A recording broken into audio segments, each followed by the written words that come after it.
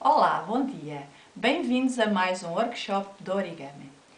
Desta vez trago-vos uma árvore de Natal em três dimensões. O material que necessitamos é o seguinte, são cinco quadrados que podem ser da mesma cor ou de cores diferentes.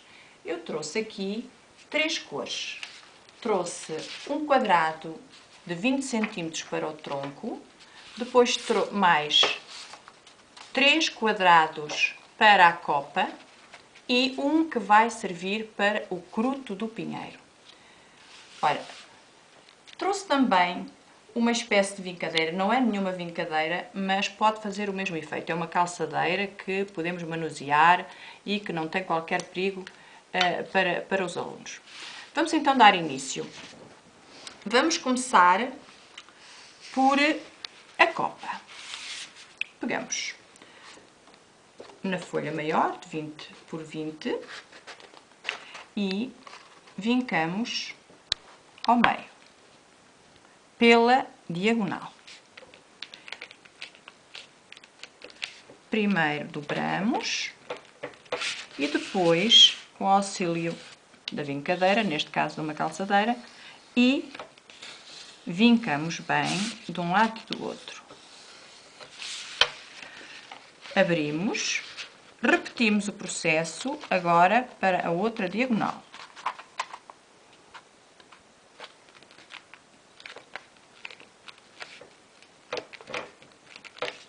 Dobramos e depois vincamos. A dobragem e a vincagem andam sempre uma a seguir à outra. Convém que fique sempre tudo muito bem vincado para o origami ser perfeito. Ora, já temos as duas diagonais. Agora, o outro passo é fazermos as medianas e desta vez dobramos para fora. Dobramos ao contrário. O papel tem dupla face, muitas vezes facilita, mas também podemos usar o papel com a face igual, de um lado e do outro. Uma mediana, vamos fazer agora a outra acertar sempre muito bem as pontinhas. Dobramos, depois vincamos. Também podemos utilizar uma régua das pequeninas, também não há problema nenhum. Às vezes as crianças não têm unhas suficientes para vincar. Agora, ao fazermos este passo, temos isto. Assim automaticamente fazemos isto e ele fecha. Tá? Agora dobramos esta parte para baixo.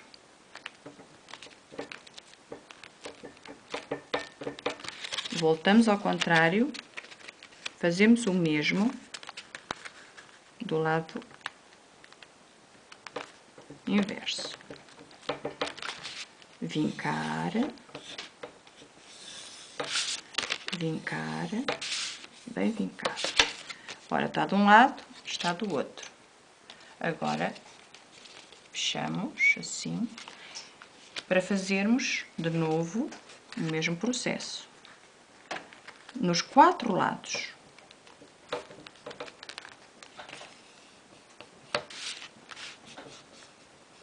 Segredo do origami está no vincar muito bem o papel.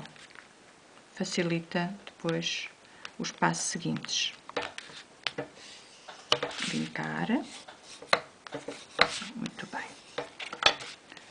Pronto. Entendo isto, estamos quase, quase com a copa feita. Agora é só fazer, vou repetir, unirmos esta ponta com esta. E obrigarmos a outra parte a unir assim. Vou mostrar para ver qual é o efeito. Estão a ver? Assim. Agora faço a mesma coisa deste lado. Une-se este biquinho que fazemos coincidir com aquele. pressionamos aqui até obrigar a dobrar com aquele bico. Depois apertamos. E vamos repetindo o processo para os quatro lados. Aqui também a mesma coisa. E vamos sempre encostando e vamos vendo o que é que nos falta. Falta-nos este. A mesma coisa. Vai até ali e depois aqui, com jeitinho, obrigamos o, o papel a, a dobrar para onde queremos. Pronto, faço isto para os quatro lados. Temos uma das partes do, da copa feita. Leva três partes iguais a esta. Se queremos que fique branca para fora, fica assim. Se queremos ao contrário, fazemos a dobragem ao contrário. Vamos fazer agora uma outra para sair ao contrário. Diagonal, começa sempre o mesmo processo. Diagonal, segunda diagonal, a seguir vira-se o papel ao contrário e mediana. Se a mediana, se quando fizermos as medianas o papel com, com o florido ficar para fora, sabemos que a erva vai ficar com o colorido para fora. Se dobrarmos com a mediana com o colorido para fora. Ok? Agora é só fazermos isto e ele automaticamente faz isto, porque já tem lá os vincos.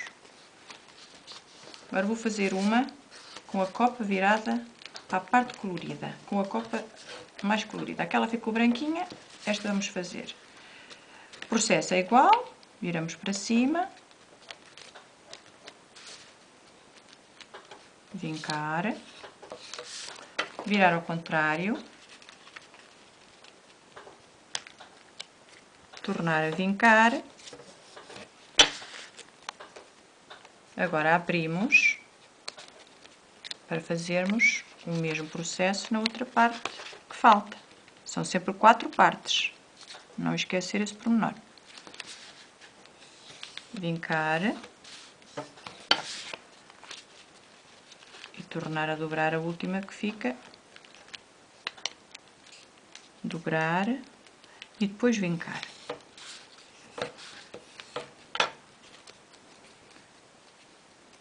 Pronto, última parte. Faço isto junta-se aqui com os dois dedos, com o polegar e com o indicador. Agora, obrigamos este biquinho a tocar naquele ali. E, ficar tudo aqui muito bem, né? para não ficar aqui o papel engelhado, fazemos isto e pressionamos. E depois vamos ver o resultado. Tem que ficar assim. Agora, isto é repetido para os quatro lados do, da copa do pinheiro. A mesma coisa, unir com o polegar estas duas pontas, unir com o outro biquinho, aqui ter o cuidado de pressionar, mas sempre no mesmo sentido.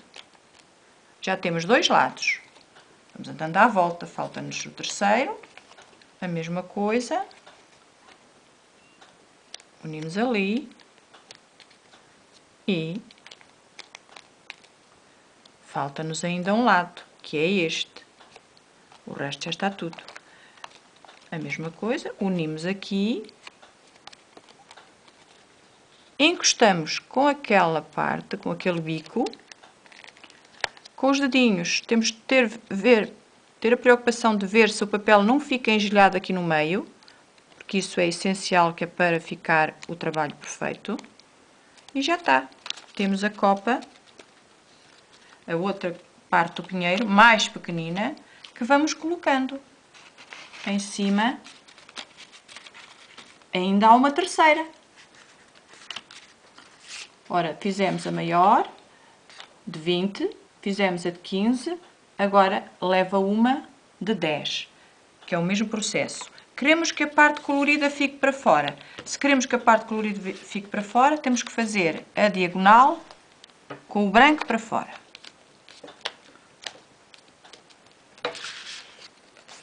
Vincar.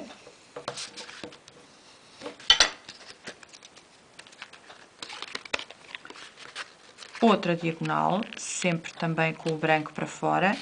Não nos podemos enganar. Se as diagonais são feitas de um lado do papel, tem que ser ambas do mesmo lado do papel.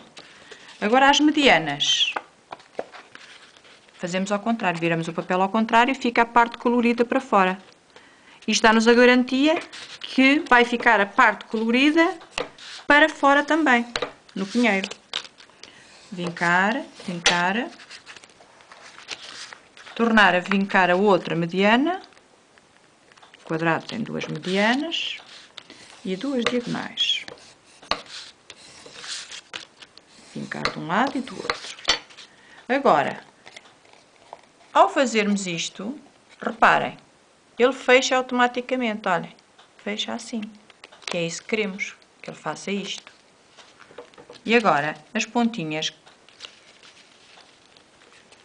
viram para trás, neste caso,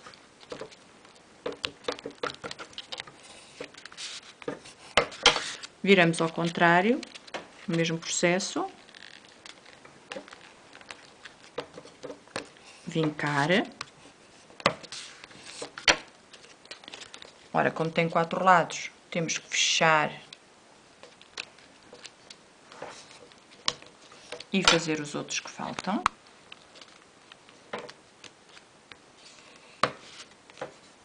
Tá e finalmente este. A copa é muito simples. E como são três, leva, sempre, leva três, a, a, a, três, a três vezes. Temos que repetir isto três vezes. Esta já é a última. A mesma coisa. Os biquinhos, cá estão os biquinhos, juntos, polegar indicador muito bem, obrigar a bater no outro bico. Vejam, tem que estar bem unido. E aqui, apertamos. Pronto. Vejam como é que ficou. Faz aqui este. Agora, vamos repetir isto para os quatro lados.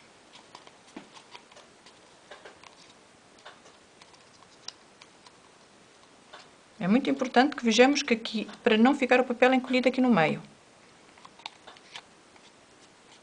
Pressionando, já temos dois lados. Vamos ao terceiro.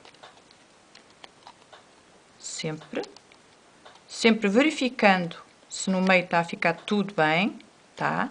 Não está a ficar nada engelhado. Finalmente, o último lado,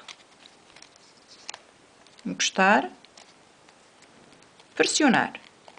Que aqui não dá para virmos com a vincadeira lá dentro, não é? É mesmo só apertar. E agora compor.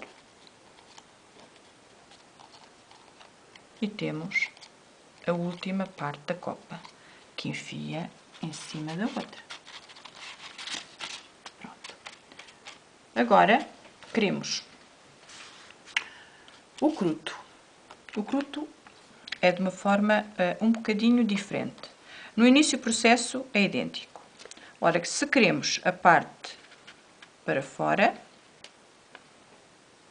fazemos assim, parte da diagonal assim. A outra, ao contrário, diagonal também. As duas diagonais. Mediana. Até aqui o processo é igual. E a outra mediana.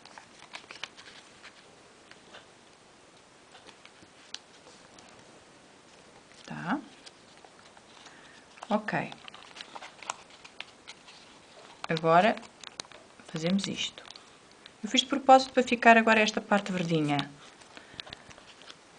Agora, faço... É notória esta diagonal aqui, não é? O objetivo é encostar esta parte até à diagonal. e vincar, fazendo tipo um triângulozinho. Do outro lado, a mesma coisa. Aqui o papel é pequenino, temos que ter mais cuidado. Fazer isto também, vincando também. Agora, viramos ao contrário e fazemos a mesma coisa. Vincar. Vincar. Formamos um triângulo em que encostam aqui as duas partes no meio. Okay. Depois de termos isto, vejamos, abrimos esta parte e tentamos abrir aqui com os dedos, com cuidado, abrir esta parte, de modo a fazer isto e a vincar ao contrário. Ora, se perceberam este passo, vai-se fazer isto nos quatro lados. Vou repetir. Vou desdobrar e pôr como estava. Para vocês verem outra vez o processo. Pronto, estava assim. Vou voltar atrás.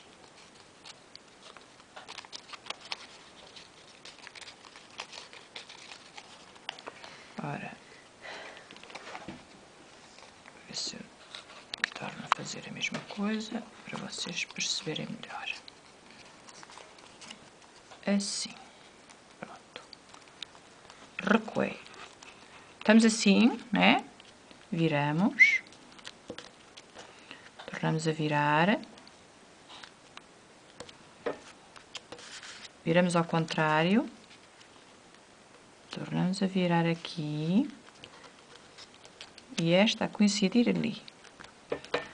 Depois de termos isto assim, vejam, deste lado, deste lado. Abrimos uma delas. E agora, abrimos aqui ao meio. Assim. Metemos aqui o dedo mais pequenito, talvez dê mais jeito.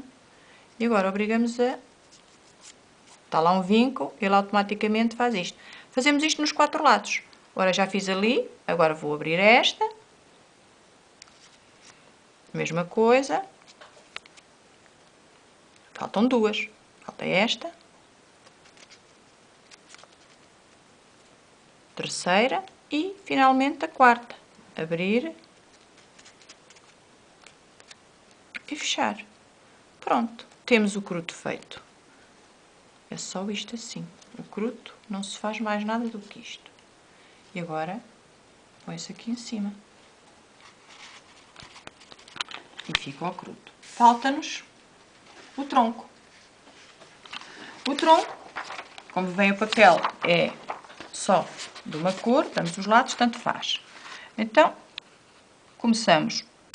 Isto é sempre a mesma coisa, na, na, nos três, na, nos, nas três coisas, tanto na copa como no cruto e no tronco, é sempre diagonal, vincar, outra diagonal, ao mesmo lado, reparem, assim. Muito cuidado a unir os vértices, porque isso é o segredo para o origami sair perfeito.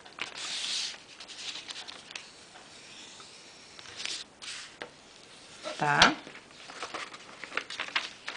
Temos as duas diagonais. Agora, para as medianas, viramos o papel ao contrário e as medianas vão ao contrário. Muito cuidado a fazer as dobragens. Só vincamos quando tivermos a certeza que é por ali que queremos vincar. Porque um origami com muitas vincagens fica, fica mal. Só deve ter a vincagem que é necessária. Ok? Falta-nos a outra diagonal, também para dentro. Unir sempre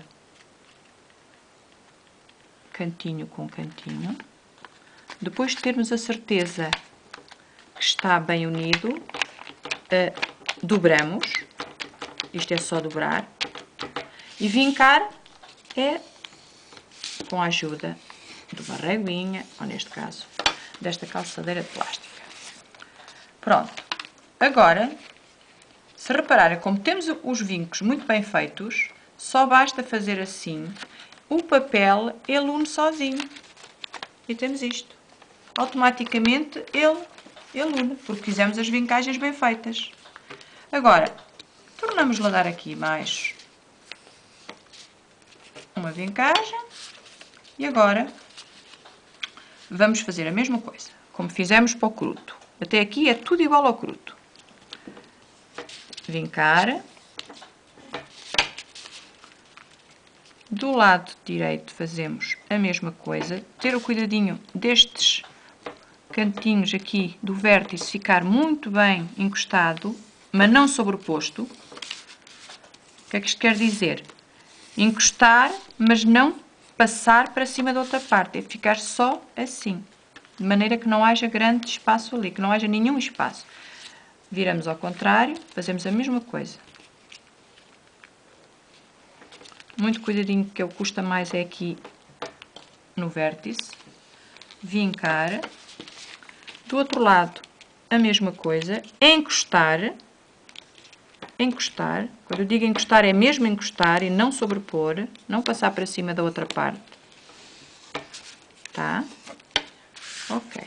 Agora vamos fazer a mesma coisa que fizemos para o cruto recordam-se? Abrimos aqui, fomos aqui dentro o indicador e obrigamos este vinco a vir para dentro. Como temos as vincagens bem feitas, elas automaticamente vão para onde nós queremos. Pronto. Uma já está. Reparem, ficou para dentro. Estava para fora e nós agora metemos-a para dentro. Isto é para ser repetido nas quatro partes. Então vamos a esta também, abrir, fomos no nosso indicador dentro para abrirmos e depois ajudamos com o polegar a diagonal a vir a entrar para o interior. Certo? Assim e ter a preocupação de ver se, se não há vincos mal feitos, não é? Falta outra parte, agora já está esta, falta esta agora, também temos que abrir, ora onde é que ela anda? Esta já está, é esta, falta esta parte, faltam duas, falta esta, mesma coisa, falta uma agora, que é esta. Que é esta aqui. Temos cá o dedinho dentro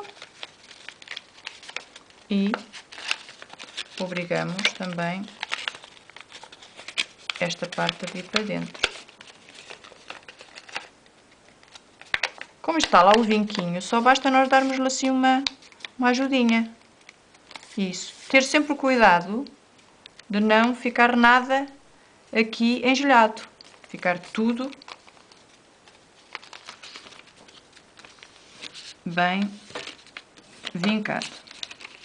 Agora abrimos, assim. Agora vejam como é que fica aqui o interior. Estão a ver? Agora o que é que se faz? Esta parte vamos obrigar a entrar para dentro destas duas. Estão a ver estas duas partes aqui? Agora, obrigamos este bocadinho a entrar para aqui. Tá? Entrou, vincou. Viramos ao contrário, abrimos e fechamos aqui. Metemos aqui para dentro. Tá? Depois de termos a certeza que está bem, é que vincamos. Nunca vincar sem ter a certeza primeiro. Agora, o que é que falta? Já estão dois lados, falta-nos estes, que também têm que entrar para dentro. Mas estes já não temos lá nada para os enfiar, não é? Já não temos aqui dobragem nenhuma. Então, fazemos-las nós, a coincidir com o resto que já lá temos. Portanto, fazemos aqui, dobramos para dentro, não é? Esta dobramos também para dentro, à mesma altura do resto, de modo a formar uma pirâmide quadrangular. Se quiséssemos uma pirâmide quadrangular, tínhamos assim, mas como queremos o tronco, fazemos assim. E agora, pegamos em todo o resto e pomos assim aqui. Claro, temos assim um pinheiro tridimensional. Podemos fazer das cores que quisermos. Podemos fazer branco e vermelho, podemos fazer verde e vermelho, podemos fazer todo, todo verde, todas as cores, todo florido, como quisermos.